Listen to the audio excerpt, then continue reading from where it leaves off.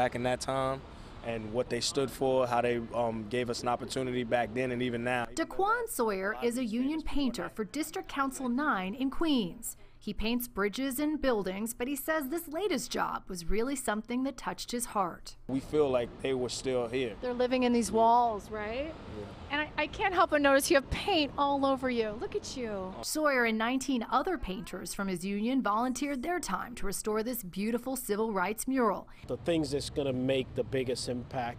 At 4 05 Astoria Boulevard, right in the heart of the Astoria houses. We have members who live in Astoria in some of these housing projects. So it's, it's, great to come in here and just get this done. Weeks of work on the weekends and extra hours, all worth it, say these painters. As a young black man doing what I'm doing right now, it's from the result of the hard work they put in. It's such an important thing to do. It like makes you feel like you did something good for the community. Originally created in 1981, the mural was in bad shape, fading and chipping away.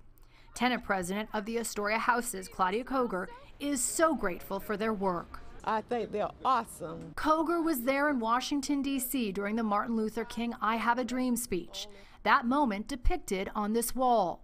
She says it's breathtaking, and she's moved to see these young men, not even born then, but moved by that moment too. Thank you. But it was these painters that thanked her. Appreciate all the work that you've done, everything that you sacrificed to get here. Thank and this you. is my first time meeting you, but I love you like a mother.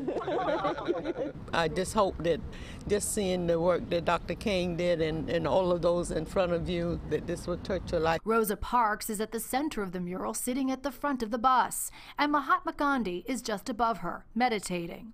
Martin Luther King depicted twice, once giving his speech and again lifting a young child while surrounded by his family. The name of the mural, Remember the Dream. Remember everything that they've done for us. DC9, they're the real heroes for Thanksgiving. Monica Morales, Pix 11 News.